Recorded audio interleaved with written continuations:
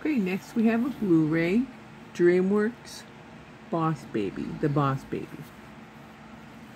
There's the front, the side, other side, and back. And you got the same cover. Now we're going to open it.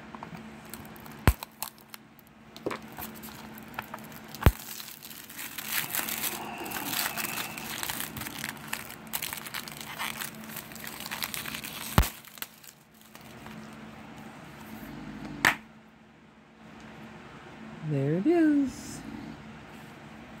Nice color. There's the insert and the Blu-ray.